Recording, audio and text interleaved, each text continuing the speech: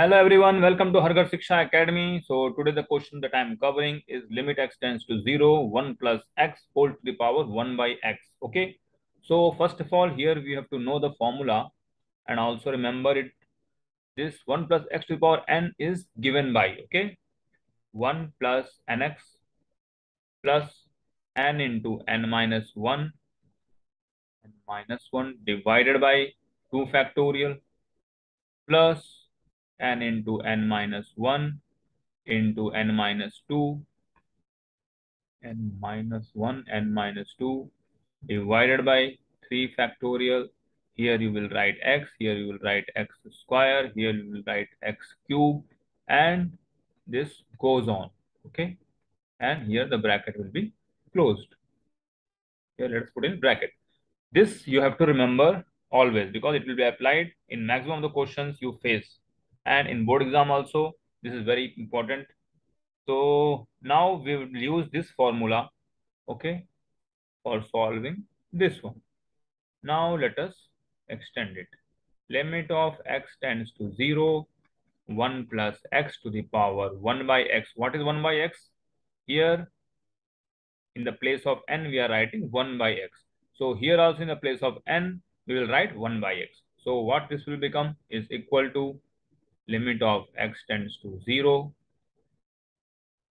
Now in bracket, let us write this will be 1 plus, now here if you will take 1 by x, then what will this become? This will become 1 plus, here what we'll get? We'll get 1 minus x divided by 2 factorial, okay?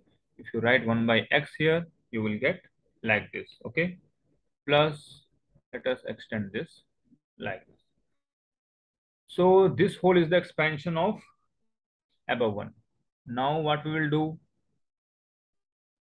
we will just put the value of x as 0. So we will get it as 1 plus 1 and other all will be here if you are putting it 0. What we are going to do, we will be getting just 1 by 2 factorial. Then we will get 1 by 3 factorial plus dot dot dot. Okay. Now, what is this? This is the expansion of e to the power 1. And you can check it. If you know what is the expansion for e to the power x, or you can see my other video also, which is which is on expansion of e to the power x. So this will be to the power 1 will be is equal to x to the power 0 by 0 factorial means 1 to the power 0 by 0 factorial plus we write x to the power 1 by 1 factorial that is 1 by 1 factorial then x to the power 2 by 2 factorial that is also 1 by 2 factorial in this way. And the same thing we have got here okay? So we can write it as the answer is e. And various competitive exams and also board exams this question is very common. So you have to remember it. And you have to also remember to like subscribe and share and press the bell icon so that you can get these notifications timely and you can prepare for your board exams well Thank you very much. Bye bye. Take care.